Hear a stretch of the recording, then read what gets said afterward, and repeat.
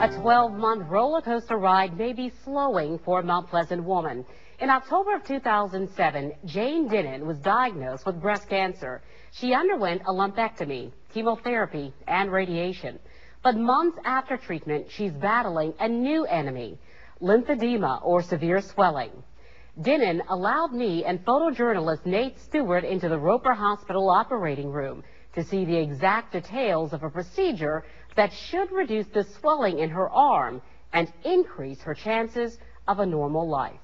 So it really is a burden. Look at the difference in the size of Jane Dinnan's arms. This is when they're good. Pain courses through her right arm. It's like arthritis and it hurts to bend my arm. And fluid builds and bulges in her arm and through her fingers. And since my right arm, I mean, that's what I use for everything. Lifting, pulling, holding anything is nearly impossible. My hand is very weak. I can't sometimes twist things or pull things like normal. This therapeutic sleeve relieves some symptoms, but wearing it constantly and the other therapies to alleviate the swelling have become depressing.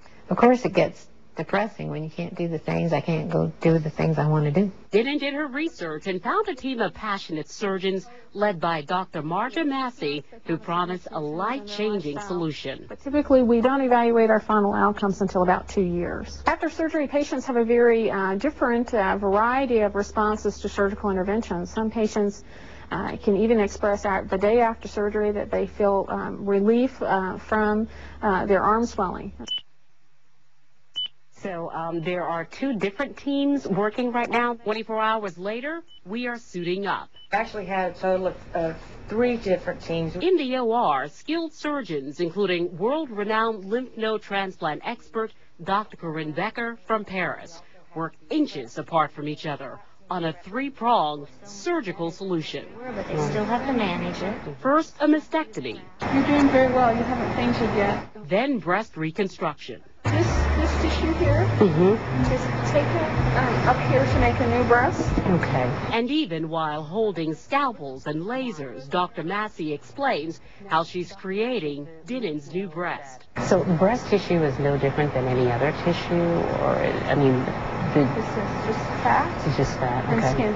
Okay, Just just fat and skin. Okay. So the procedure's been going on for about two and a half hours. Dr. Massey, who is right behind me, is still preparing the flap that is in fact going to be used for the reconstructed breast. Meantime, Dr. Becker and Dr. Craigie are still preparing the site area to receive the lymph nodes. We're very careful to only take three to five lymph nodes from the donor site. As the medical team of eight continues working, they are led in part by Dinnan, who discovered this procedure by being an advocate for her own health. Find the people who are doing the research. You have to push for your own health.